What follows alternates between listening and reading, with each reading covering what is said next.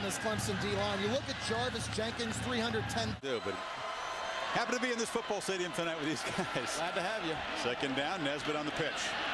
Get in the corner is big Jonathan Dwyer.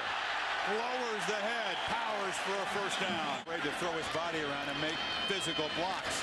On the pitch, Dwyer has to collect it, and this time he's smothered. Allen and Jones in the backfield. Along with Dwyer, who takes it up the middle. Here's the handoff.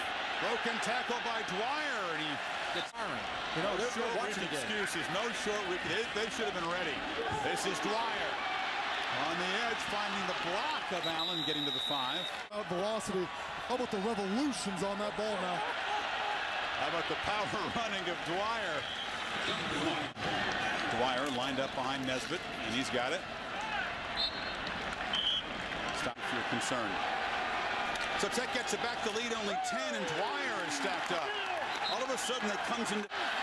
Reese thanks. It'll be fun to watch him against the Wolverines as Tech goes back to work.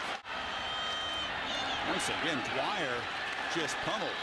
Last three possessions. Yeah, late handoff to Dwyer.